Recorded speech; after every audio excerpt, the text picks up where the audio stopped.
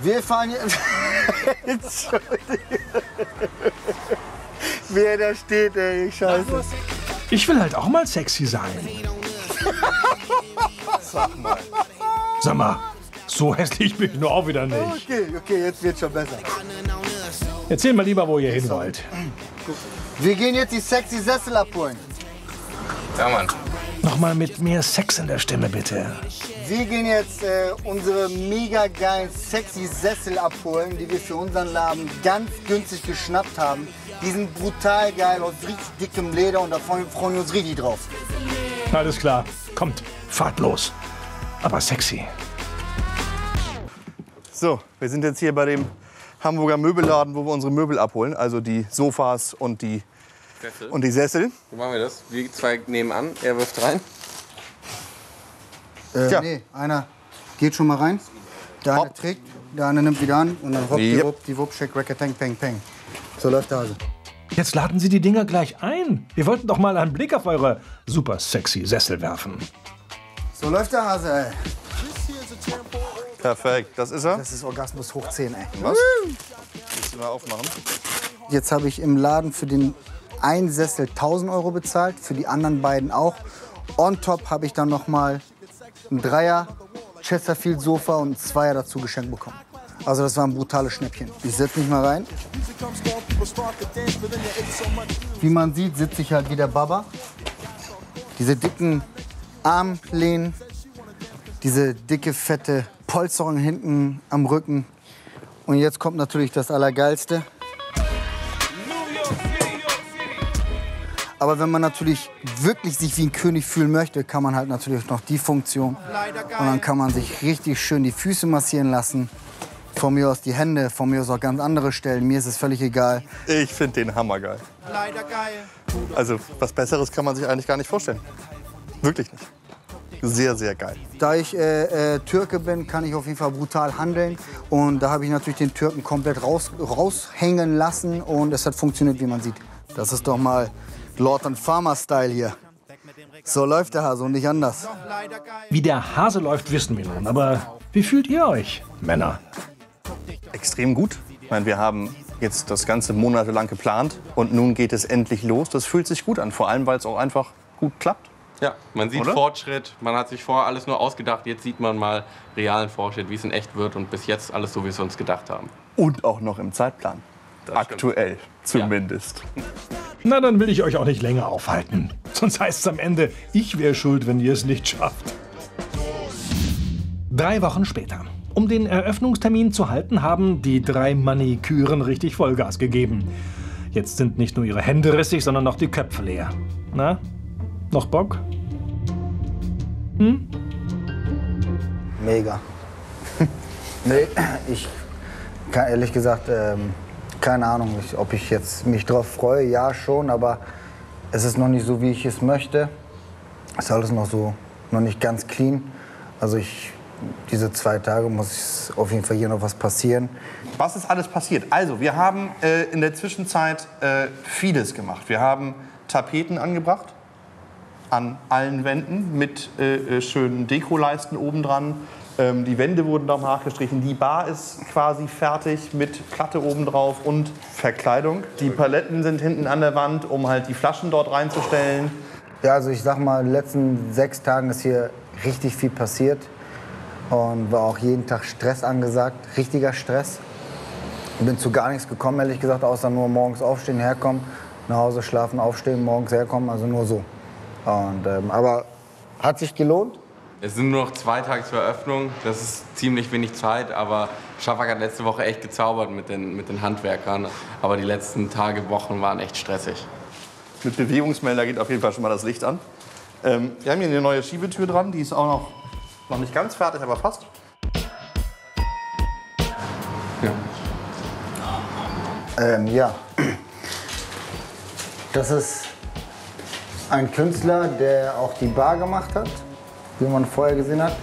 Das ist so eine Selbst Sechsbeschichtung, keine Ahnung, er ist, er ist halt Künstler. Spachteltechnik, dies, das. Ja, genau, Spachteltechnik, dies, das. Wie man auch hier so schön sieht, äh, mit einer coolen Lampe. Die Toilette ist schon echt sehr sexy geworden, da freuen wir uns sehr drauf. Ja, eigentlich sexy. Sexy.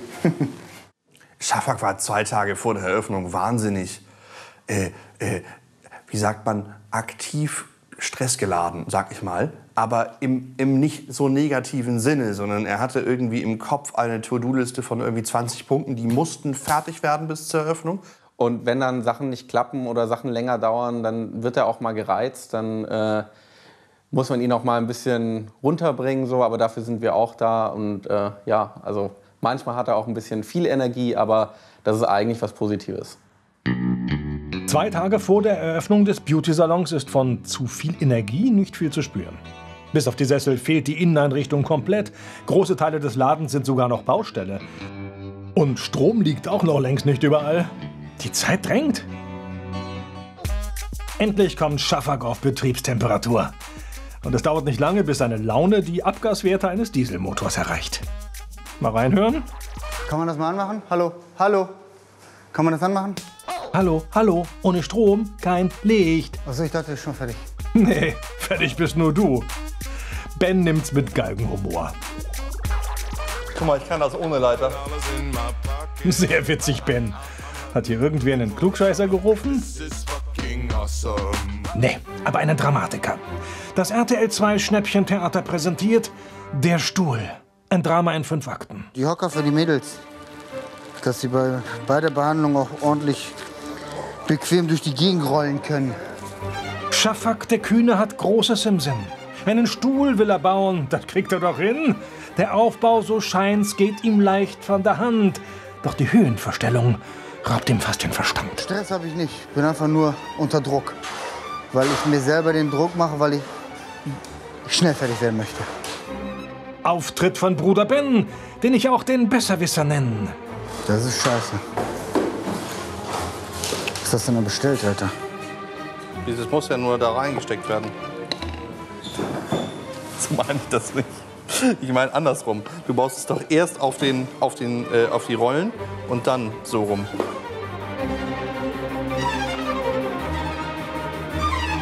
So, jetzt setze ich einfach drauf.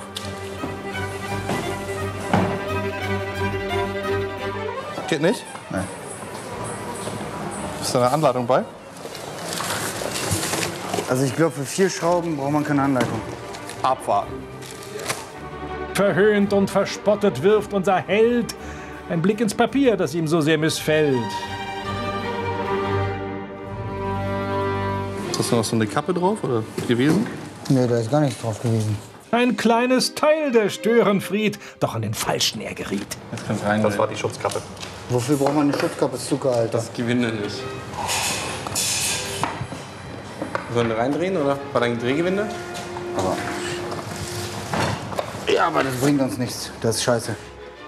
Der Stuhl in seiner vollen Pracht rollt lieblich gar und herrlich sacht, doch letztlich hat es nichts gebracht.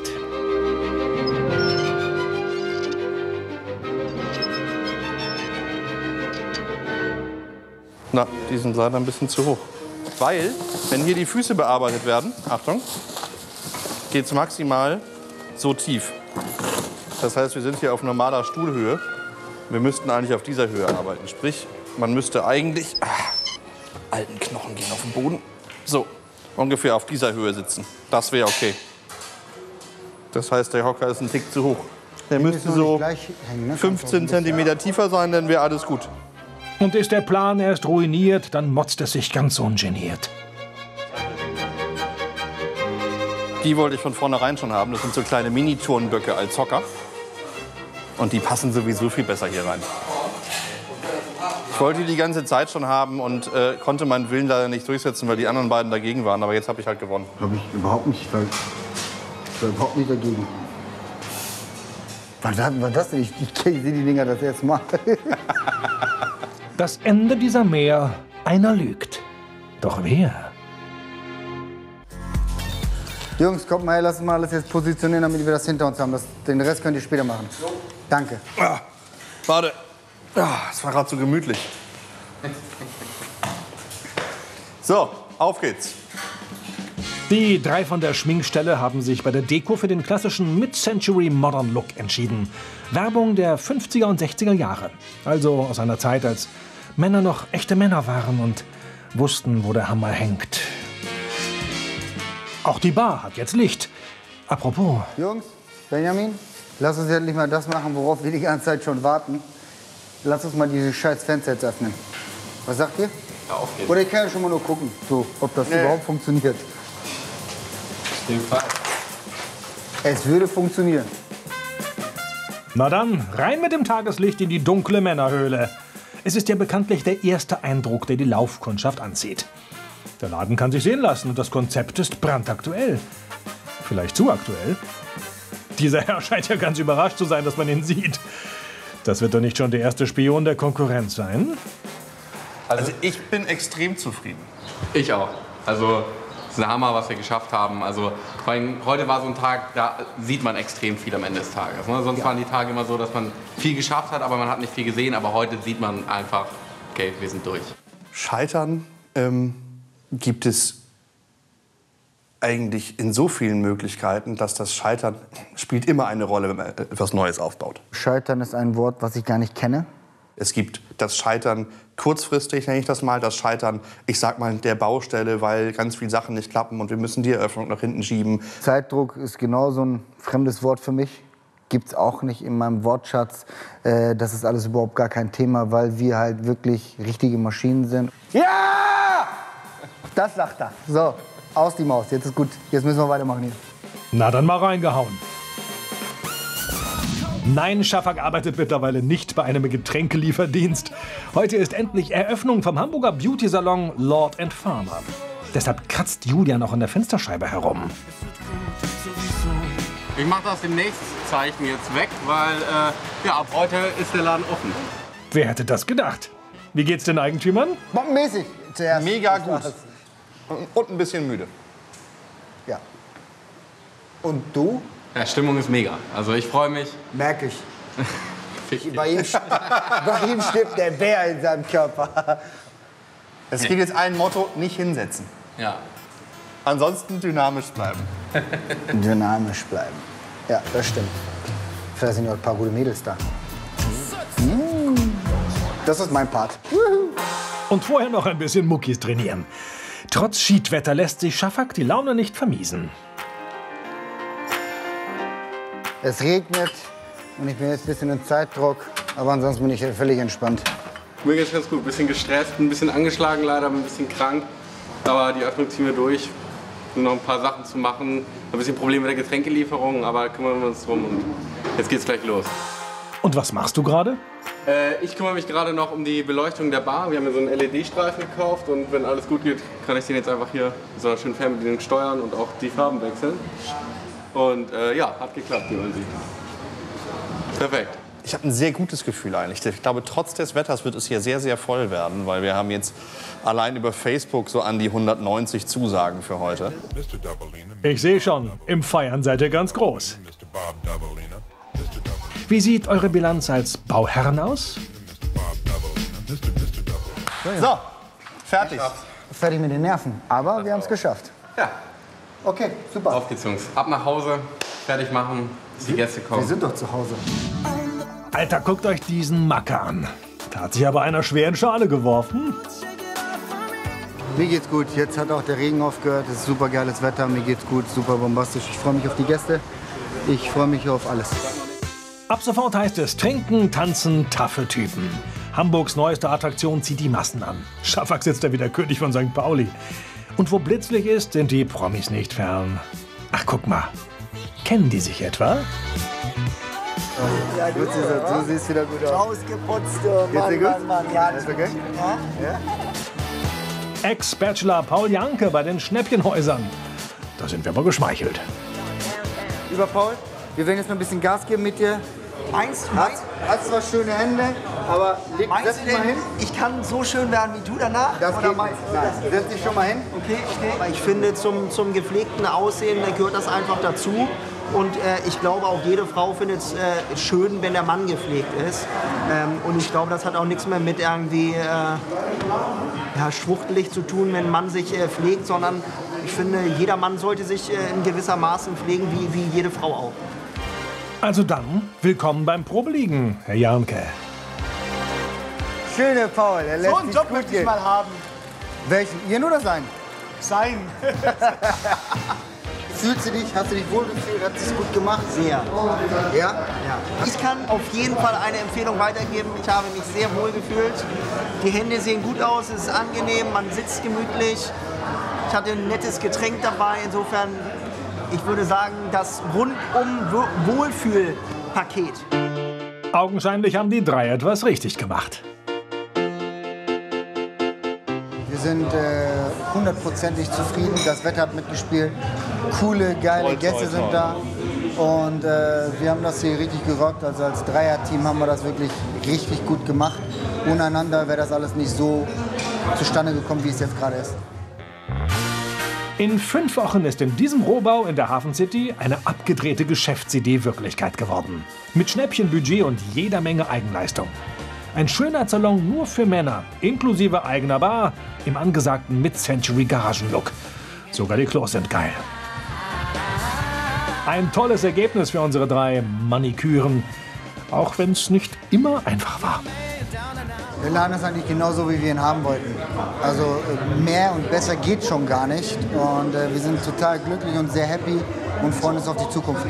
Auf jeden Fall. So ein, zwei kleine Details sind immer noch da, die man besser machen kann, aber ansonsten mega geile Nummer. Das soll erstmal jemand nachmachen. So sieht's aus. Na denn, wir wünschen euch Jungs immer eine Handbrettnagel unter der Pfeile.